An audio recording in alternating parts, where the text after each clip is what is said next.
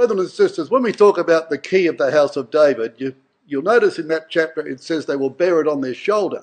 Now, the custom in those days was that when they, the king went to celebrate in the temple the glory of Yahweh and so forth and speak on behalf of the people, he, he, he was preceded by a man, a tre- always the treasurer, carrying this huge key to unlock all the doors as they went up from the house of the forest of Lebanon up to the place of worship.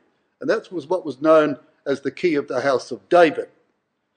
Now, there's no doubt about it, brothers and sisters, but this is all about the Lord Jesus Christ because he's got the key of the house of David. This is what that's it, doesn't it? So the angel of the, of the church or in the ecclesia I've got there, write these things, saith he that is holy, he that is true, he that hath the key of David, he that openeth and no man shutteth, and shutteth and no man openeth. And if we're wondering what he's opening and shutting, well, it's the grave. I am he that liveth and was dead, and behold, I am alive for evermore. Amen, and have the keys of hell and death. And we can imagine, brothers and sisters, in that glorious day when he comes, it'll certainly be a great procession. And won't it be a wonderful thing that that key will unlock the graves of many of our brothers and sisters who lay asleep waiting for the Lord Jesus Christ? Now, just a brief historical setting of this chapter.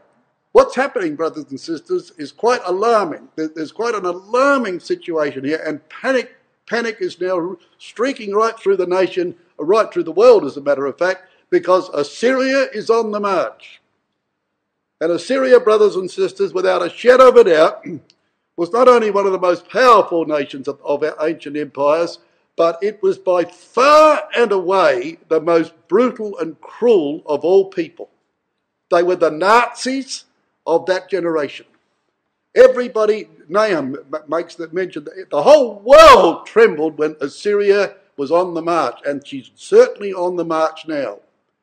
And the time is around about the time of Ahaz, who's the father of Hezekiah, and of course of Hezekiah who followed him. That's the time of this, this setting of this chapter. And what's happening is this that he's coming into the Middle East, everyone's given up hope, and everyone's panic stricken, right? So you got up in the northern kingdom there, you got the king of Israel up there, Pekah. He's making a deal with the Syrians, not the Assyrians, but the Syrians who were immediately north of him. And, and Judah down in the south was saying, Hey, what are you doing? You're forming a confederacy against us. And people are getting confused as to what was going on. The Assyrian, of course, was crushing people as he came. The nations were all in the turmoil. These two nations, smaller nations up there, are trying to get a, uh, get together to oppose him. Judah is wondering what the heck's going on. And what do the people do? They just said, ah, it's useless. And everybody went their own way and they said, right, let's have a party, let's drink and dance and be merry. That was the scene, brothers and sisters, of Isaiah 22. People had abandoned hope. It was all so useless. And they just had gone their own way and said, we've had it, forget it, let's enjoy ourselves while we can. That was the scene, and you can just imagine that won't be very long before that'll be the same scene that'll overtake this world in which we live. Now, Shebna and Eliakim are featured in this chapter. And you'll notice, brothers and sisters, that both of them were mentioned in the reigns of Ahaz and Hezekiah. And here in Ahaz we read, Thus saith the Lord Yahweh of armies, Go get thee unto this treasurer, there are treasures of men that carry that key, even under Shebna, which is over the house. And of course, at that time, that man Shebna, his name means to grow, to grow, and he certainly he wanted to grow. He, he had his head as almost as big as the temple. He, he was a very ambitious man, very self opinionated man. And it shall come to pass in that day that I will call my servant Eliakim, the son of Hilkiah. So there we find in the days of Ahaz, the, the father of, of Hezekiah, that Shebna has got the key and Eliakim is just a mere servant.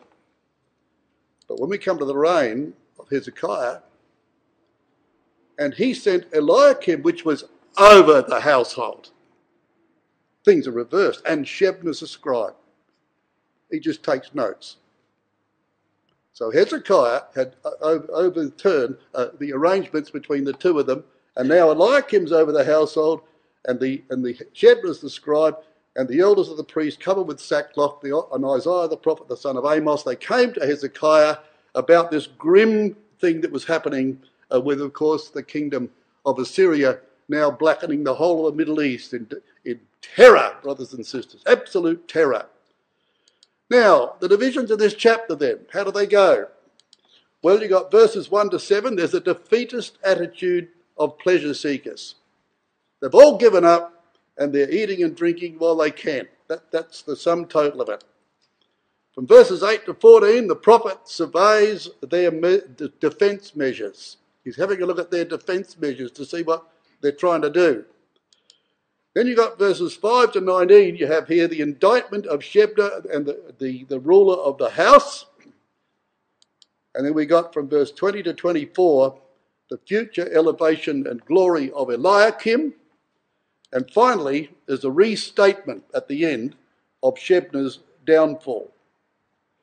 So the first thing we read, brothers and sisters, in verse 1 is the burden of the valley of, of vision. Valley of vision? Look at verse uh, 5. It's a day of trouble, treading down perplexity by the Lord Yahweh of hosts in the valley of vision. Brothers and sisters, if you want to see a vision, you don't stand in a valley. That's the whole point of that expression. That was the attitude. They'd lost the vision. If you want to see a vision, you get on top of a hill. But they were in a valley. And where there is no vision, the people will perish. Where there's no vision, the people will perish. We've we got to have a vision, brothers and sisters. And if ever there was a need of a vision, it's today. And it shouldn't be hard to create a vision of the circumstances which will accompany the Lord Jesus Christ coming. A massive earthquake, the, absolute, the world is absolutely wrecked, every wall has fallen to the ground, People are running around looking for their iPads and their iPhones and all everything else, and they don't work. And the whole world is in chaos. And Jesus Christ is coming, and He's here. And our vision can see beyond that, brothers and sisters, of the glory of the age in which He will set up. And the government will be upon His shoulder. There'll be no idiots in Parliament. It's not hard to create a vision. The worse the situation comes, the better the vision should be. And we should not say to ourselves, well, let's go off the holidaying and all of it because who cares? Because it's all over. We mustn't have that attitude that they had. We've got a better future. In the visions of God, He brought me to the land of Israel and set me upon a very high mountain. Ezekiel did not have a valley of vision, he had a mountain upon which to see it, brothers and sisters. And he saw this frame of the city on the south. And he brought me hither, and behold, there was a man who was the appearance was like the appearance of brass, with a line of flax in his hand, and a measuring reed, and he stood at the gate. And the man said unto me, Son of man, behold with thine eyes, and hear with thine ears, and let thine heart be on all that I will show thee, to the intent that I might show thee that thou art brought hither, to declare that thou was what thou seest to, to the house of Israel. And that man went around, brothers and sisters, building the temple while Ezekiel watched him and finished up in the most holy place with that man in that vision. And Yahweh said, Son of man, the place of the soles of my feet. And the record says, and that man stood by me. Wow. Imagine Ezekiel looking at him and saying, Wow, Yahweh, the place of the soles of my feet. Who's he? He is the manifestation of Jesus Christ, brothers and sisters, the manifestation of Yahweh. Ezekiel didn't know that. They got into the most holy place, and Yahweh said, Ezekiel, I'm standing here with you. And that was the great vision. You don't see that in valleys. You do not see that in valleys. Now, look what they were doing. They're wholly gone up to the housetops. Now, they were having parties up there. Now, brothers and sisters, in Israel, when you have made a house, you, you, you didn't, uh, the design of that house was prepared not by you, but by Yahweh. When thou buildest a new house, then thou shalt make a battlement for thy roof, that thou bring not blood upon that house if any man fall from thence. So they had to have a rooftop with a, a, a, battlement or a guardrail around it just in case they fell off. And we learn from the New Testament and other places, they also had to make an outside staircase by which you could reach the top of that house without going inside. Let him that's upon the, uh, in, in, the, in the, go not into the house and up to the housetop, says the Lord Jesus Christ. And you know, the reason that you could not design that, brothers and sisters, the reason it was designed for you, because every day the priest went into the holy place and saw the design of that tabernacle, of that house. All your houses was designed on the basis of the altar of incense. He shall overlay it with pure gold, the top thereof, and the sides thereof round about, and the horns thereof, and thou shalt make it a crown of gold round about. In the Hebrew, top and sides are, are really margin, roof, and walls. And the altar of incense had a flat top, had a little guardrail on the outside. And in the middle of that was the bowl of incense smoking away, morning till evening and evening till morning. Prayer, night, day, all through the night and all through the day. And so, brothers and sisters, God was telling them that your houses should be a house of prayer. So Peter went up on the housetop to pray. That was the purpose of that of the top of the house. He went up there to pray. Other men did that. David made a mistake. He went up the housetop one day with an empty mind and he was drawn away with lust. But forget about that. That wasn't the purpose of the house. The purpose of the house was to pray. What are these people doing? They're going to have a party. They're going up there, brothers and sisters, to have a party. They're going up there for a party. And in verse 2, it says that they were a tumultuous city. They were a tumultuous city. The word means clamorous, to rage. To rage in a, in a tumultuous party. People going absolutely crazy with all these things. And then he says in verse 2 they're not slain with the sword, nor are they dead in battle. It's a defeatist attitude, brothers and sisters. In other words, they were dead, they'd given up, they'd given up. And back in chapter 8, which is related to this chapter, Yahweh spoke to me with a strong hand upon me, warning me not to follow the way of this people. He said, Do not call conspiracy everything that these poor people call it conspiracy. And of course, the conspiracy they're worried about is Syria and Israel. Have you heard the news? What, what news? Israel's gone and made a pact with Syria. You're joking. Wow. Well, if the Assyrian wasn't enough, this is our own people. For goodness sake, what's happening? So there was this talk about conspiracy. Do not call conspiracy everything that the, uh, the other people call conspiracy. Do not fear what they fear. Do not dread it. Yahweh Almighty is the one you are to regard as holy. He is the one you are to fear. He is the one you are to dread. And he will be your sanctuary. But for both the house of Israel will he be a stone that causes men to stumble and a rock that makes men them fall. And for the people of Jerusalem, he will be a trap and a snare. And that's what Jesus said, didn't he? Whoever falls upon this stone will be broken, and upon whom it falls, it will grind him in pieces, he said. And here they were, brothers and sisters. He said, If you want to fear someone, fear God. And that's a very good thing, brothers and sisters. You know, people talk about you know, every time this is mentioned, oh, people say, it doesn't really mean be frightened. It means, oh, rubbish. It means fear God. That's what it means. And I fear God, don't you?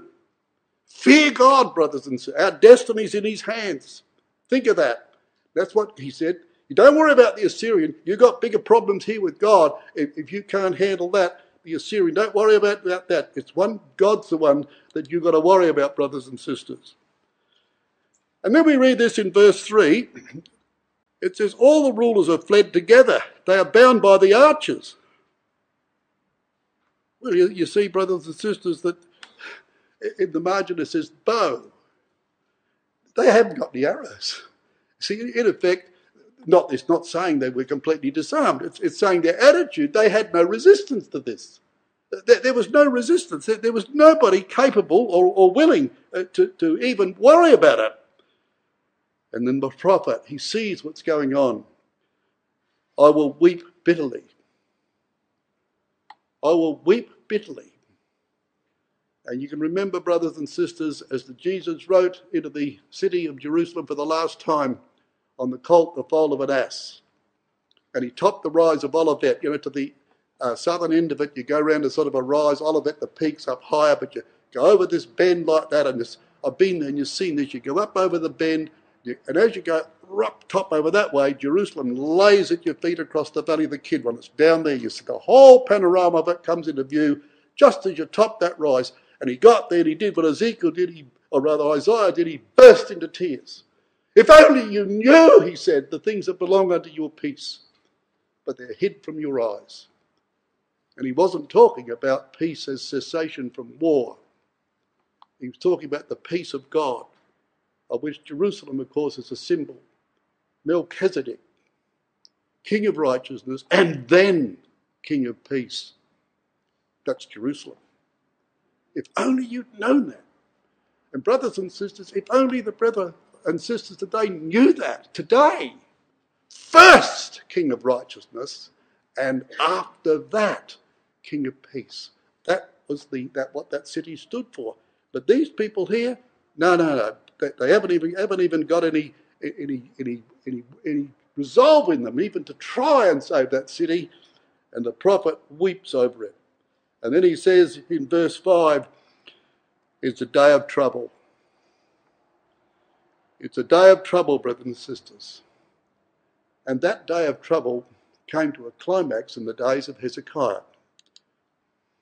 Hezekiah's reaction to the day of trouble. This man's different. When King Hezekiah heard this, he tore his clothes and put on sackcloth and went into the temple of Yahweh. And he said Eliakim, the palace administrator, Shebna the secretary, and the leading priest, all wearing sackcloth, to the prophet Isaiah, son of Amos.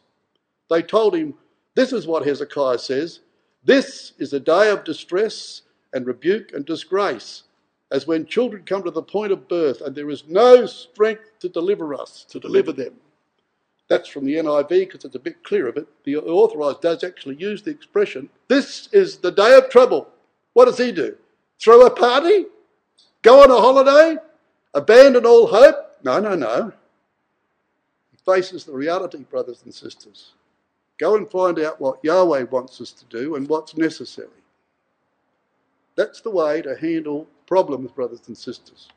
Don't go around panicking and throwing your hands in the air. Just say, what does the Bible say? What does the Bible say? That's the important thing. And you know, brothers and sisters, some of the, some of the most serious problems have got the most simplest answers. It's all in here. And we run around and do this and do that, and the Bible is very clear. But people want to try and do something to add their own strength to what they think they can move mountains. Well, they can't, but God can. And Hezekiah knew that. That was a different reaction than everybody else in that land. That's how he reacted to this matter. Now, in verse 6, in verse 5, it says, It's a day of trouble, treading down of perplexity by the Lord Yahweh of armies in the valley of vision, breaking down walls and crying to the mountains. Crying to the mountains. They're crying to the mountains. A voice on the bare heights is heard the weeping and pleading of Israel's sons because they have perverted their way. They have forgotten Yahweh their God. Return, O faithless sons, I will heal your faithlessness. Behold, we come to you, for you are Yahweh our God. Truly, the hills are a delusion. The orgies on the mountains, truly, Yahweh our God is the salvation of Israel. Now, that's not in the days of Hezekiah, that's in a later history, right at the end of Judah's commonwealth. But the hills are a delusion. Why? Because they were having orgies on the mountain, sensual parties. So that Judah was doing this when the Babylonians threatened them. But that's not what the mountains were made for, brothers and sisters. Crying to the mountains for help will get them nowhere. I will lift up mine eyes unto the hills. From whence comes my help? My help comes from Yahweh, which made heaven and earth. He will not suffer thy foot to be moved. He that keepeth thee will not slumber. So here the psalmist sees you go up at the hill. You think, oh, this is a good vantage point. I can I can resist the enemy here. I've got I've got a distinct advantage in the type of warfare they fought. But then he stops. He says, no, no. The heavens and the earth. That's where my advantage is. Look at all the vantage points involved in that. That belongs to Yahweh. And he, he can keep our feet. We won't trip up. And that was his attitude, brothers and sisters, crying to the mountains. Let me get down to verse 6 of this chapter. We read about Elam, which bare the quiver, and Cherbah, which uncovered the shield. In actual fact, brothers and sisters, they were the northeast and the southwest extremity of the, of the Assyrian Empire. So, in other words, news is coming that the whole, the whole empire, actually of that area of Assyria, is now being armed. They're rearmed and they're coming, brothers and sisters. That's the message. They're coming.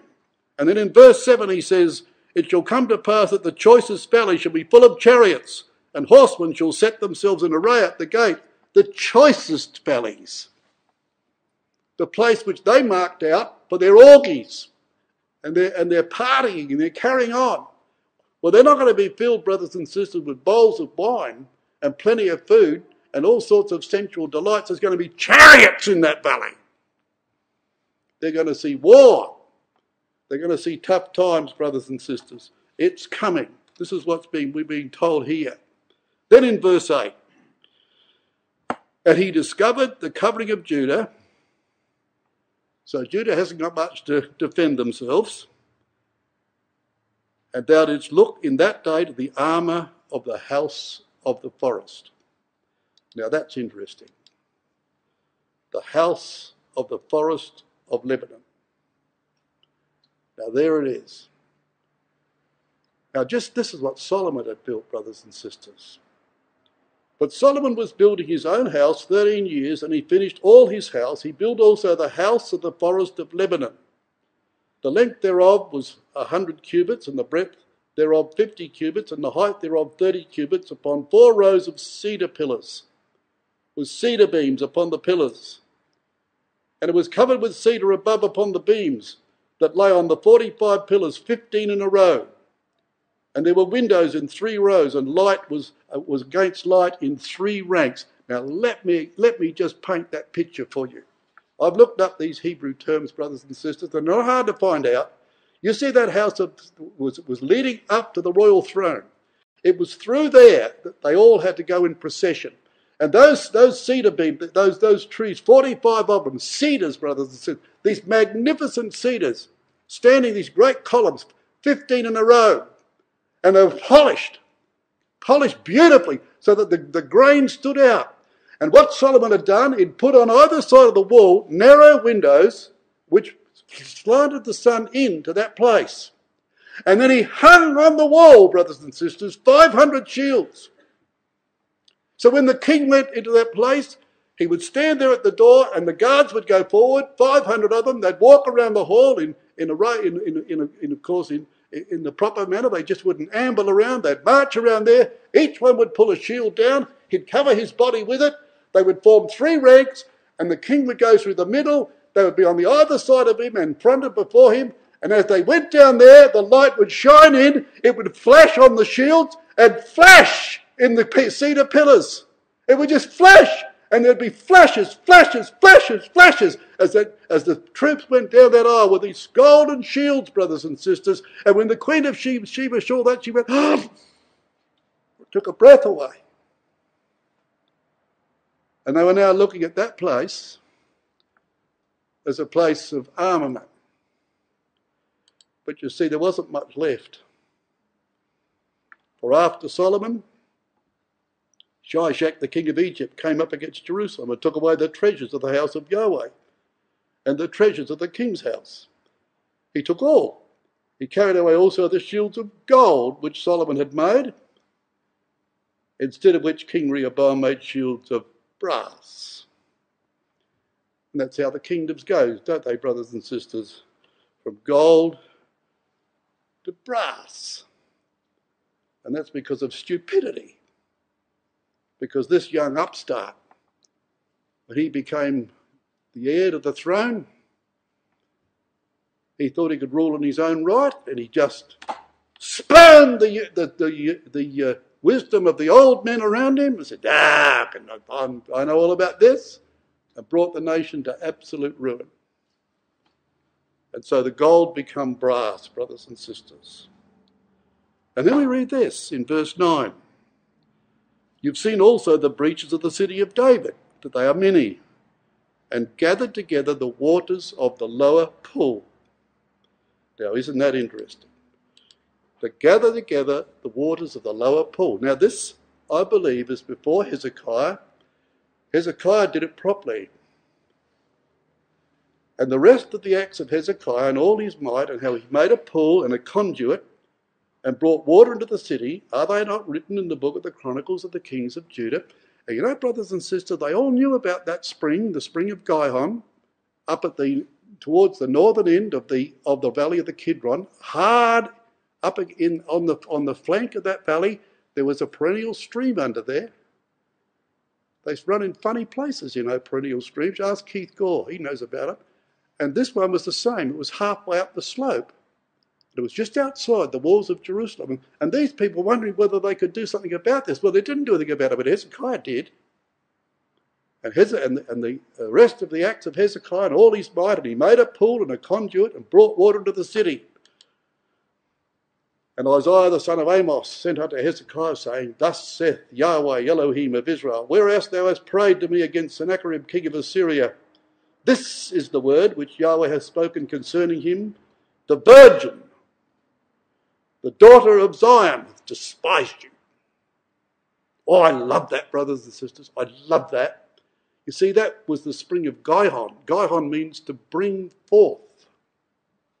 To bring forth. And Yahweh tells Hezekiah, that's like my purpose. Your father didn't want this message. I offered him this and he rejected it. But he was panic stricken. He told him, A virgin will conceive. I'll give you a sign. A virgin will conceive. He said, I don't want signs. I don't need signs. But the sign has come, brothers and sisters. It came, of course, eventually in the person of Jesus Christ our Lord. Did we need it? Do we need him? Goodness gracious me. We're desperate, brothers and sisters. We desperately need that man. What other defense have we got against this world? Or anything else for that matter? The virgin daughter of Zion hath despised thee and laughed thee to scorn. You imagine Rabshakeh. Just imagine what sort of a general he was when he stood outside the walls, when, when he surrounded it in Hezekiah's day, brothers and sisters. Imagine this hardened crim, this, this hardened soldier, brutal and, and absolutely fierce, not a, not a drop of, of pity in his blood, brothers and sisters, hard as nails. And Eliakim fronts him up and says, the virgin daughter of Jerusalem laughs at you, a little girl. You think of that. Sin is a monster, crushing the life out of millions of people. Voracious, brothers and sisters, consuming all in its path. Little boy lying in a manger, born of a virgin. That's God's answer. But Ahaz didn't want that. The daughter of Jerusalem has shaken her head at thee. Whom hast thou reproached and blasphemed? Again, whom hast thou exalted thy voice and lifted up thine eyes on high, even against the Holy One of Israel? So this was the sign. And this is what Hezekiah did, didn't he? Hezekiah's tunnel. You see with that water all running down there, following that line? Well, that's where Hezekiah's tunnel is. The Gihon spring up at the northern end of the valley of the Kidron comes down to the king's garden, says Nehemiah 3.15. 540 metres, brothers and sisters, underground, dug from one end to the other, and they met in the middle, and there was the plaque in the middle of the way that tunnel was dug, and I think it's in Turkey now somewhere, I'm told. And that plaque, you can go today and see that very plaque that was taken out of that tunnel in the days of Hezekiah, and they brought that down there. And in the Song of Solomon, a garden enclosed is my sister, my spouse a spring shut up, a fountain sealed. And that fountain, brothers and sisters, became a symbol of married life, Oh, yes, certainly it was a prophecy of a virgin who would have a child before she was married, of course. We know that. But it also became a symbol, brothers and sisters, of what happens when people get married. A man marries a girl. He closes up all other avenues to that fountain other than himself. That is his, his refreshment in life, is that woman. That's what Solomon said. Now, this is from the RSV because the, the authorized version says it in the opposite. It's wrong. Drink waters from your own cistern, flowing water from your own well. Should your springs be scattered abroad, streams of water in the streets? No. Let them be for yourself alone and not for strangers with you. Let your fountain be blessed and rejoice in the wife of your youth. So, see what Yahweh was telling Hezekiah? It was all a wonderful figure of speech, brothers and sisters, of how a man takes a maiden and he loves her and she loves him. They agree to get married.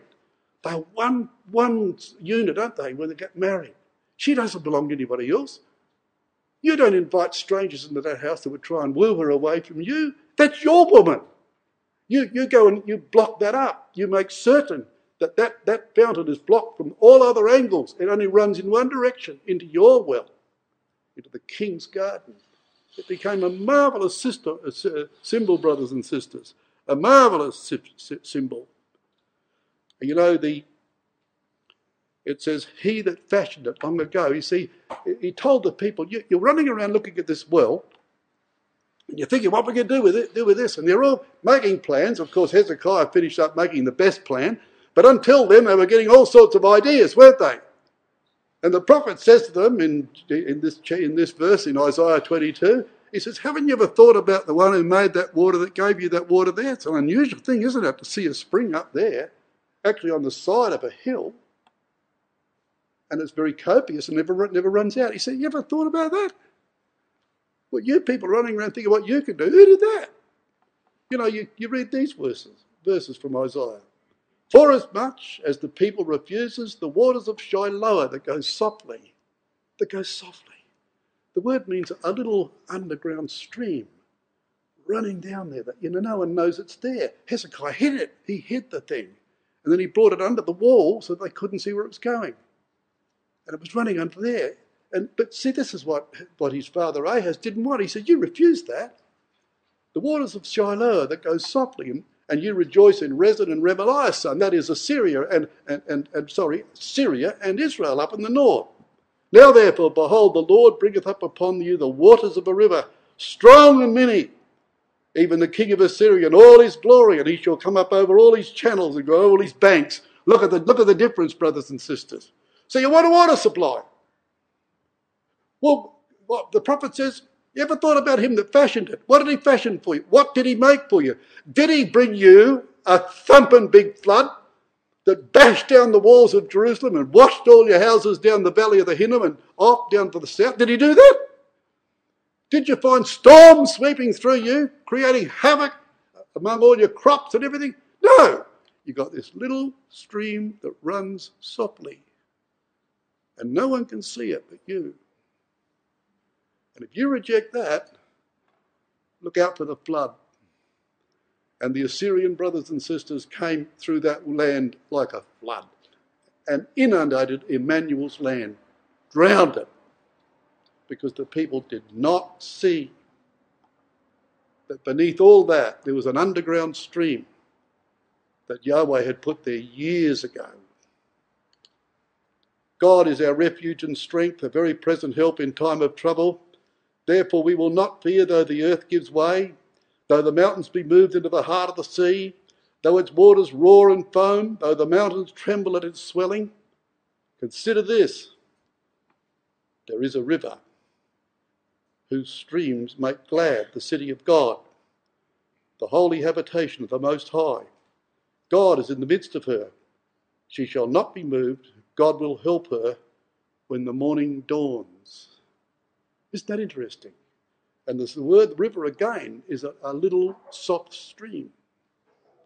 There is a river in the city of God. There's all these blind men at the pool of Bethesda. Big pool. See it all. It's all there. And a poor fellow, 38 years there, can't get in, and many others wouldn't have got in either at the time appointed.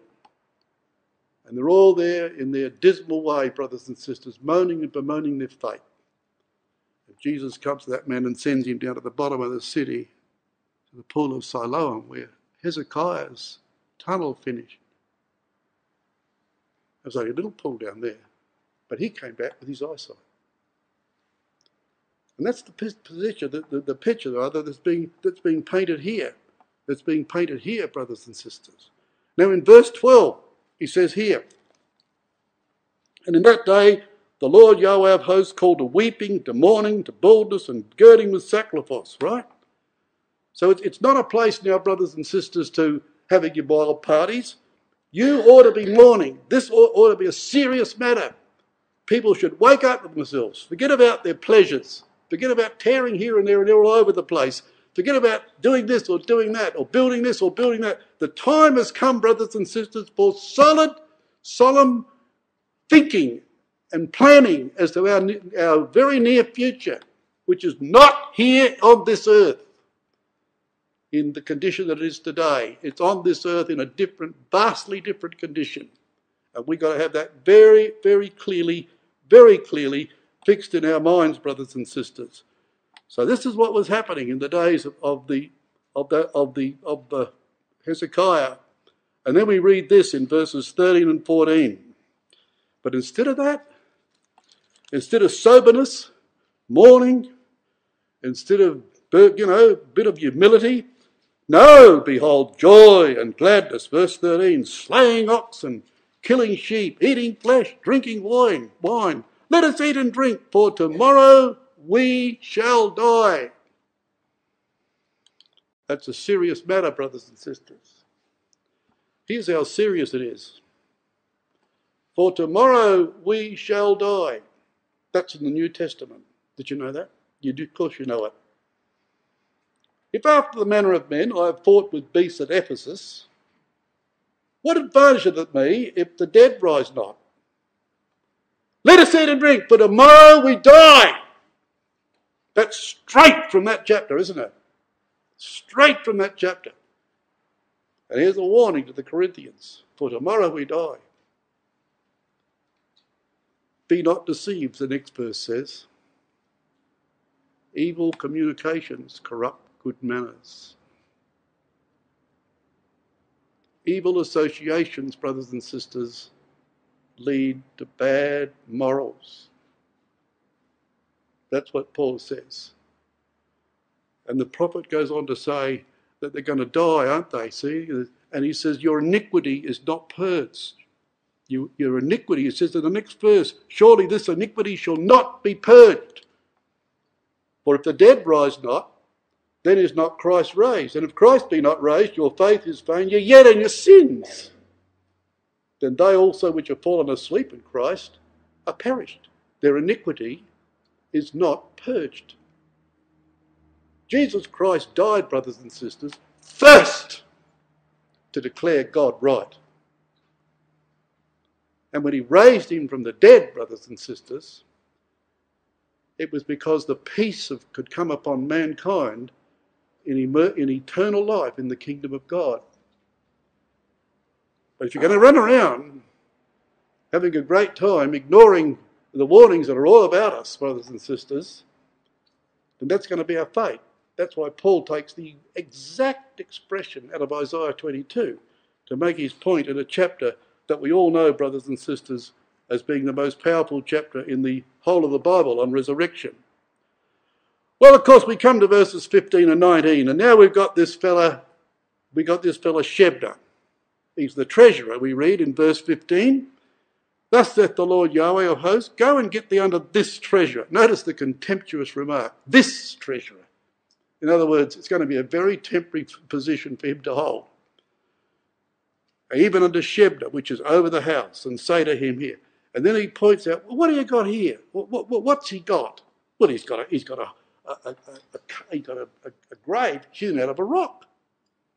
So this fellow, well, he's, he's, he's got ambitions, hasn't he? Even in death, he's got ambitions. Because when all else is, you know, everybody else is just flung down to the valleys for the carrion to pick or, and left to rot, perhaps, and, and so forth, or buried in, in piles.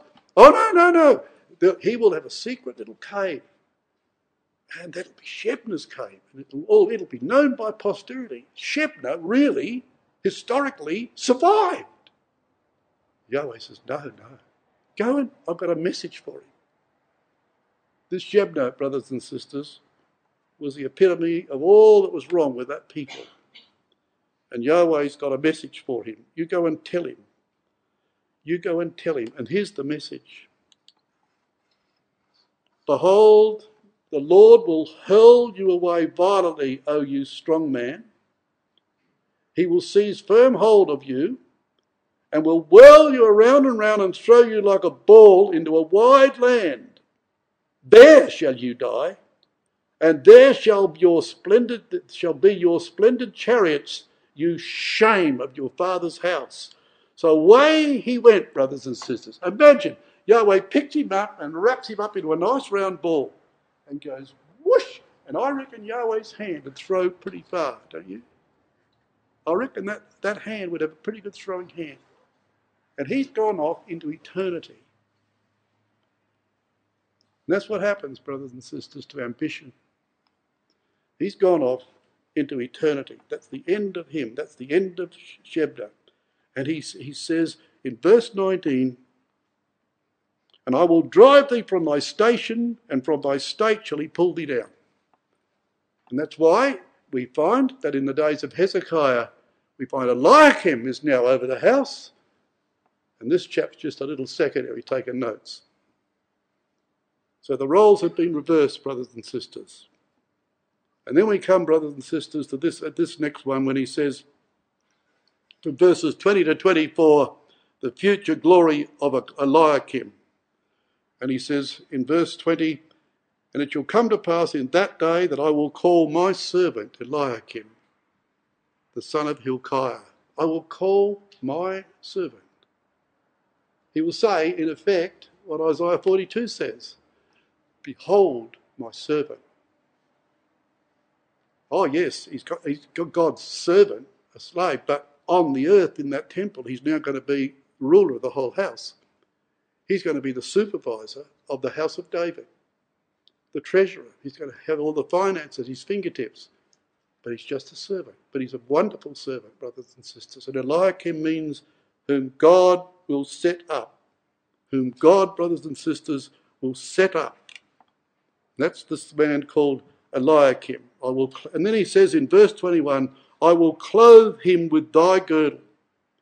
That's the only other occurrence of the eight times it's rendered, or one of the eight times it's rendered for the priest's garments, brothers and sisters. You see, that, that speaks of Jesus Christ. He's got the he's got the key of the house of David. He's going to be clothed with immortality. I will greatly rejoice in Yahweh. My soul shall be joyful in my God, for he hath clothed me with the garments of salvation. He hath covered me with the robe of righteousness, as a bridegroom decketh himself with ornaments, and as a bride decketh, adorneth herself with her jewels. Wonderful, brothers and sisters. You know, you need visions. You hardly need a mountain, do you? He hath clothed me with the garments of salvation. Now, you know, the older you get, the more you appreciate that. And I'm in that category now, and I, I can speak with, with some authority about this because I've got aches and pains all over my body. I've got a bad ankle, I've got a, a rump sore because I fell over the other day again for the second time. I've got all sorts of, I, I know all about that. And we, all of us, I know young and old do, but the older people more so, brothers and sisters, yearn for that day when you're clothed with immortality. Just can you imagine it? Renewing your strength. Like the eagle, feathers fall out, it, it, it, it comes forth with a new coat of feathers. You rise up, you can walk without fainting, run, of course, without getting weary, brothers and sisters. This is the day we're looking for clothed with immortality.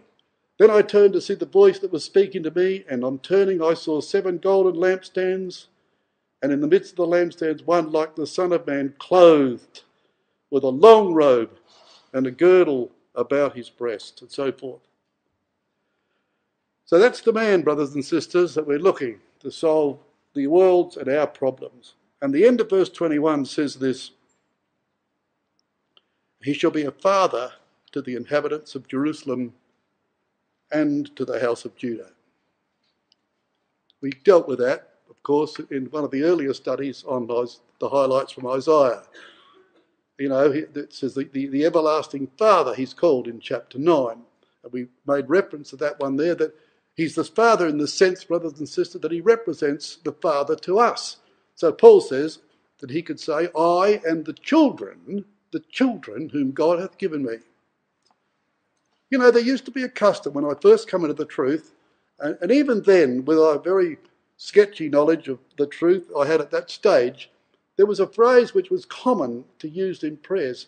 Thank goodness it's, it's dropped out of use, but I used, to, I used to send a shiver through my spine. When the brethren used to pray in the name of our elder brother, now I know that we're brethren of Christ, uh, and I know there's a certain way I suppose that could be understood like that. But it never ever rested softly with me. I, I felt uncomfortable with that. No, I and the children who God hath given me. He will represent fatherhood to us, brothers and sisters. Very much so. But we've got to remember that. Uh, this is with a reference here where I believe that comes from in Hebrews. A father to the inhabitants of Jerusalem. That's the day, brothers and sisters, that we're all looking for. Now then, let's have a look here. Now in verse 22, of course, we read about the key upon his shoulder. And then we read again in verse 23, we read this And I will fasten him as a nail in a sure place, and he shall be for a glorious throne to his father's house. Now, a nail in a sure place. Now, it, the Hebrew word signifies a peg, and I understand from what I read about the, the ancient methods in those days is what they used to do in order to, to put uh, uh, places to hang garments and vessels, utensils for the kitchen and so forth, all around the house in these mud houses that many of them had. What they did was to get a, a, a root of a tree, dig up a root of a tree and cut up a small part of that where there was one prominent part and there'd be other roots coming out from the bottom. So it'd either have a thing coming down like that and then several points going like that. And they would dig a hole in the wall and they would put that the, the roots in there and they'd pack that and plaster it up and let it go as hard so you couldn't get that peg out. So you see, it's got a very great connotation. It's not just simply hammering it in with nails or putting it with screws. This is a work of art.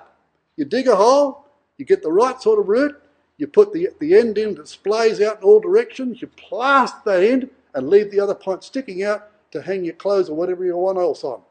It was a real art. And he's going to be a nail in a sure place.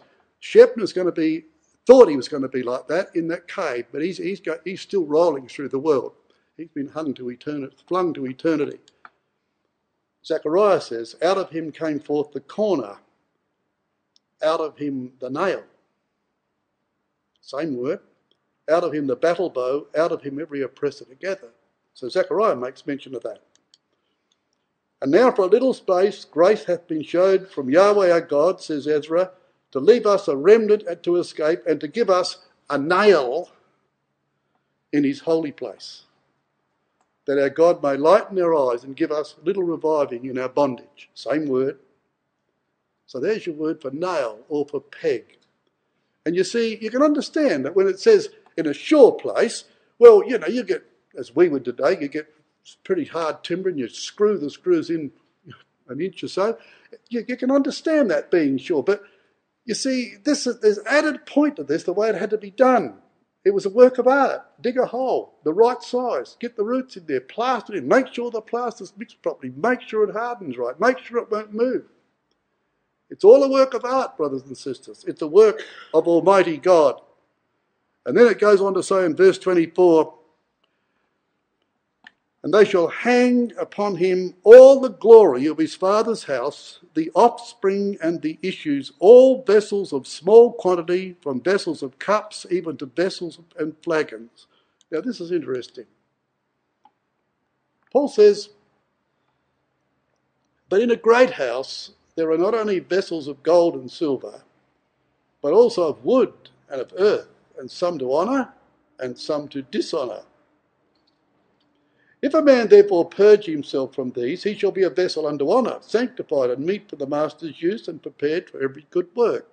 Now, here you see Paul's saying that in this great house, all these vessels would be hanging on those nails, or pegs as we should call them, and some of those vessels would be valuable, others wouldn't. Some would be to honour and some to dishonour. Paul's telling Timothy to make sure that he purges his life to become a decent vessel for use in God's house. You don't have a saucepan that leaks in your house, do you? You wouldn't put it on the stove if it leaked out the bottom all over everything. You'd throw it out. You get one that didn't leak. And that's what Paul's telling him. All these vessels that, that are used in households. But you see, that's what Paul said. But look at this. Here's the translation of the Hebrew words here we used in that verse offspring, earth shoots, Dr. Thomas calls them, and that's what they that's what the Hebrew actually means. That's Brother Thomas's translation of offspring. Issue, Hebrew means an outcast thing. Small is least or youngest. Cups is a hollow basin. And flagons are from a root word meaning fading or vile. Nothing honourable about a lot of them, is there? That's not the point.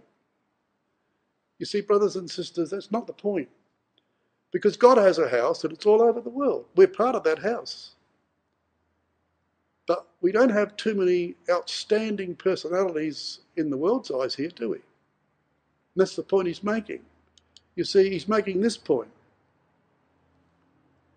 For you see your calling, brethren, how that not many wise men after the flesh, not many mighty, not many noble, but God hath chosen the foolish things of the world to confound the wise. And God hath chosen the weak things of the world to confound the things which are mighty. And base things of the world and things which are despised hath God chosen, yea, and things which are not, to bring to naught things that are. Why? Why? That no flesh should glory in his presence. Now, brothers and sisters, we have a cursed doctrine floating around in our brotherhood entitled theistic evolution. And the people who are parading that around as fact, that evolution is true, it's just the way that God used it, people that are parading around that as fact in their writings. I've not, I've seen some are printed out. I haven't got the net on. Thank goodness I've got that. But I see the things that have come off of it. They are saying that we wouldn't expect, we would not expect our ordinary brothers and sisters to understand that because they're not educated at that point. Thank God they're not educated at that point. They are the foolish people of this world. They are the stupid people, the simple people, and God loves them. You know why? Because they take Him at His word. But Paul says at the end of Romans 1, this is at the end of Corinthians 1, he says this, brothers and sisters, professing themselves to be wise, they become fools and change the glory of the uncorruptible God into the image of a beast, a four footed beast. That's exactly what they do. And they are fools, they are real fools. These people are wise people but they're not seen by the world as that. They're not seen as, by the world as that, brothers and sisters. They've never been cursed with a scientific education. All right, science is valuable. I understand that. I appreciate that. But when it runs riot into this area and treads upon holy ground, brothers and sisters, it is full, foolish. It is absolutely foolish. And the sooner and the better we get rid of that, the better for everyone concerned, brothers and sisters. And finally, the verse says, In that day, saith Yahweh of armies, shall the nail that is fastened in a sure place be removed and cut down and fall, and the burden that was upon it shall be cut off, for Yahweh hath spoken it. And I, you see, that's some people find that difficult. They say, hang on, now look, He's been talking about this nail in a sure place, and we've just seen the connotation of all that and the meaning of it.